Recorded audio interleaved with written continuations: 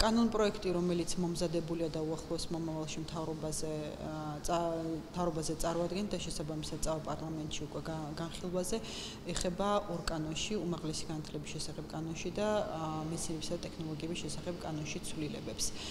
ამით და ამ კანონსაკანონმდებლო ცვლილებებით დარეგულირდება ის დღემდე გადაუჭრელი პრობლემები, რომელიც კვლევით დაწესებულებებს განსაკუთრებით მათ, რომლებიც იყვნენ სტატუსის გარეშე დარჩენილები და თავშესაფრები თავშეფარებულები, ასე ვთქვათ, უნივერსიტეტების შემადგენლობაში.